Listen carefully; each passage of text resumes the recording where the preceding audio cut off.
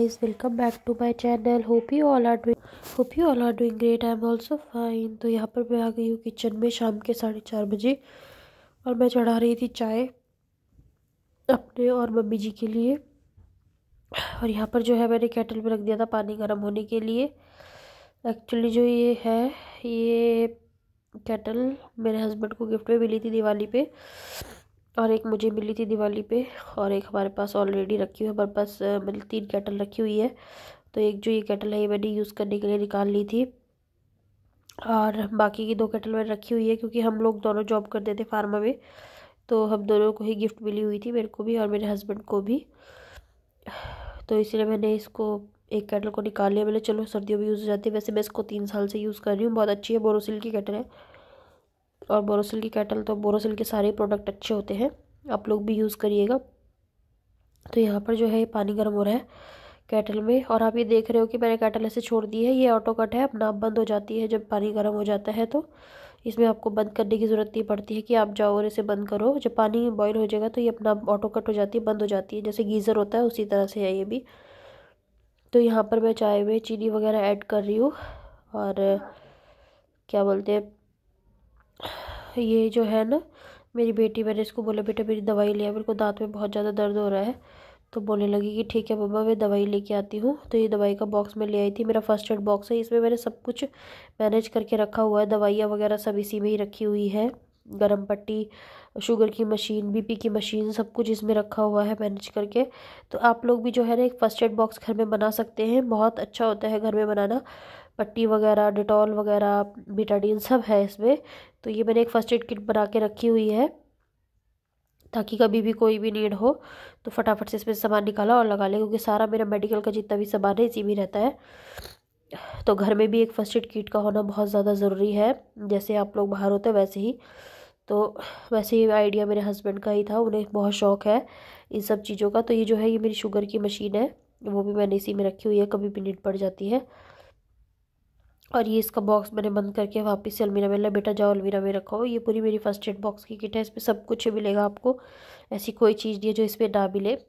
तो इसी इसी तरह से ना आपको अपने घर में मैनेज करना चाहिए, क्योंकि छोटे बच्चों के साथ फ़र्स्ट एड किट बहुत ज़्यादा ज़रूरी होती है। और वैसे भी अगर घर में किसी को चोट वगैरह भी लग जाए, हाथ जल जाए, कुछ भी हो सकता है तो उसके लिए भी फटाफट से अपने घर में एक फ़र्स्ट एड किट होनी चाहिए। तो मैंने ये बना के रखी हुई थी। तो यहाँ पर जो है, ये आप अमरूद देख रहे हो, ये हमारे घर के बाहर ही जो पेड़ है वो लगा हुआ है, उसमें उसके अमरूद है इतने टेस्टी अमरूद है ना, आप लोग खाओगे, बस क्या ही बताऊँ मैं आपको, बहुत टेस्टी अमरूद है, बिल्कुल जैसे घर के होते हैं वैसे अमरूद है, और इतना मतलब इतना अच्छा टेस्ट है इन अमरूद का, क्योंकि घर के जो अमरूद होते हैं बहुत अच्छे होते हैं, और विंटर के जो होते हैं ना स्पेशली वो तो बहुत ज़्यादा टेस्टी अमरूद होते हैं तो यहाँ पर मैंने फटाफट से बना रही थी चाय, और दक्षिता को पड़ रही थी मुझसे डांट क्योंकि बहुत परेशान करती है, गैस छीटती रहती है बार बार मुझे डर लगता है, क्योंकि मेरी जो गैस है बहुत तेज़ चलती है तो उस पर हाथ पाथ जलने का भी डर रहता है, मेरे को इसलिए बहुत डर लगता है। तो यहाँ पर फटाफट से हमारी चाय बन के हो जाएगी रेडी। तो यहाँ पर मैंने फटाफट से चाय चढ़ा दी थी और चाय चढ़ाने के बाद अब हम लोग इसे पियेंगे, क्योंकि मैं और मम्मी जी है ना चाय जल्दी पी लेते हैं शाम के टाइम क्योंकि इसके पापा लेट आते हैं छः साढ़े छः बजे तो हम वो टाइम हमारा चाय पीने का नहीं होता है। फिर मैं उनके लिए अलग से चाय बना देती हूँ। तो यहाँ पर जो है फटाफट से मैंने चाय बना दी थी। और मेरी बेटी तो वैसे दूध ही पीती है। तीन टाइम दूध पीती है वो, एक सुबह और एक शाम को और एक रात को सोने के बाद। रात को सोने के बाद तो हम ज़रूर दूध पीते हैं, क्योंकि उसके बिना नींद नहीं आती हम लोगों को। और मेरे हस्बैंड को तो बिल्कुल भी नींद नहीं आती, उनको आदत है स्टार्टिंग से ही कि रात के खाने के बाद दूध पीना ही पीना होता है तो हम खाना जल्दी खा लेते हैं। आठ बजे के आसपास हम खाना खा लेते हैं तो इसलिए दस बजे के आसपास हम दूध वगैरह पी लेते हैं। तो दूध तो हमें हमेशा चाहिए ही होता है। रात को सोने के बाद जैसे खाना खाते हैं तो सोने से पहले हम दूध ज़रूर पी लेते हैं। तो यहाँ पर जो है मम्मी देख रही थी सब्ज़ी वाला आया है या नहीं आया है और यहाँ पर इस तक्षिता को पड़ रही थी मुझसे डांट। ये बार बार मुझसे कुछ सवाल करती रहती है, किचन में और मुझे परेशान करती है। यहाँ पर जो है ये दक्षिता मेरे से डांट खा रही थी, बहुत परेशान करती है घर में और काम बढ़ाने वाले काम करती है ये। तो मैंने इससे पूछा, तुम चाय पियोगी? तो ये बोलने लगी कि नहीं, मैं पापा के साथ ही चाय पीऊँगी। तो बोल रही थी मुझे, मम्मा प्लीज़ मेरे फ्रेंड के घर छोड़ा, उसको खेलने जाना है। तो मैंने बोला, रुको, मैं छोड़ के आती हूँ, तुम्हें तुम्हारे फ्रेंड के घर। तो बोलने लगी कि ठीक है मम्मा प्लीज़ मुझे छोड़ के आ जाओ।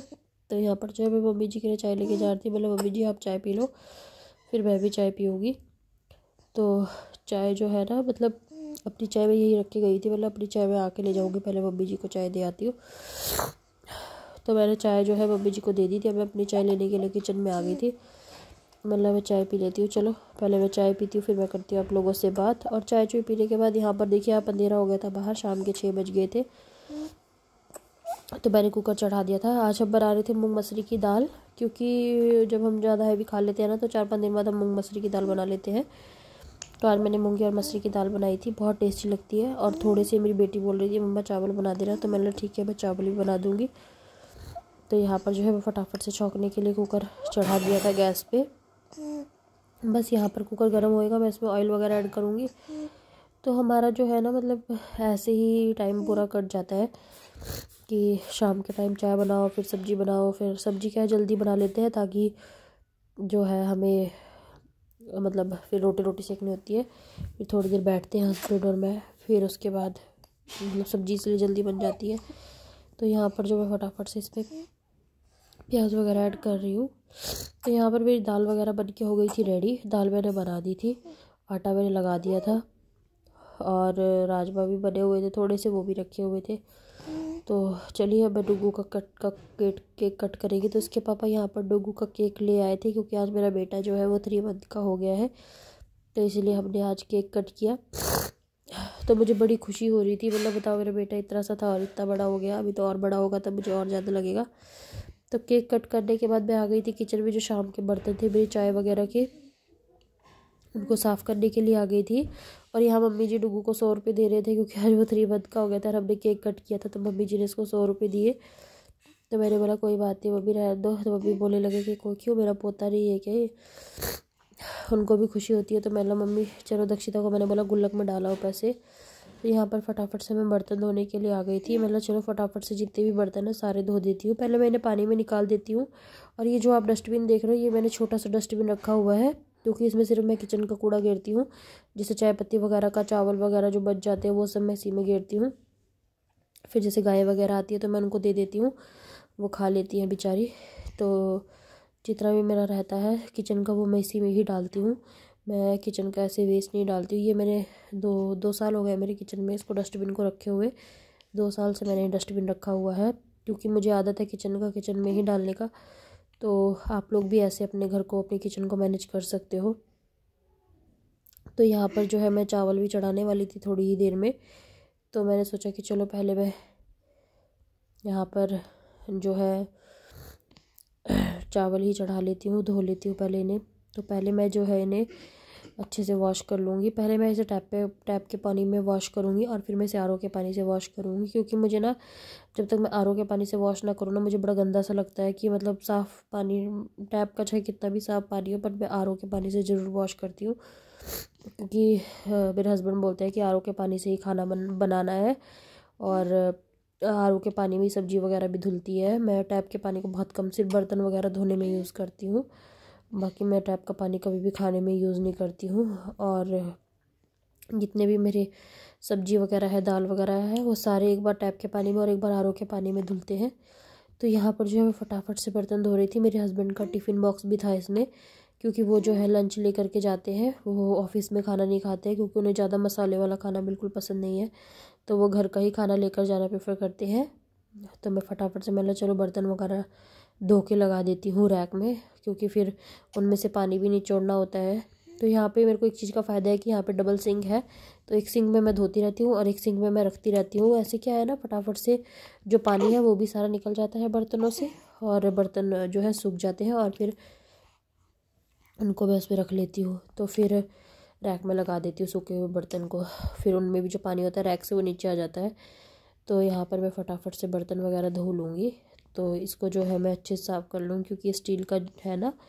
तो स्टील के जो बर्तन होते हैं, आपको पता ही है वो कितने जल्दी से गैस पे रखो तो काले से होने लगते हैं। तो वैसे मैं कम आँच पे ही बनाती हूँ, बट फिर भी मैं कोशिश करती हूँ कि बर्तन ना जले, बट फिर भी कहीं ना कहीं से जल ही जाते हैं। तो मैं चलो फटाफट से धो देती हूँ। तो यहाँ पर मैंने इसको अच्छे से धो लिया था मग वगैरह भी मैं अच्छे से धो रही थी। तो बर्तन वगैरह धोने के बाद फिर जो केक का बॉक्स रखा है, ये भी मैं बाहर फेंकाऊँगी।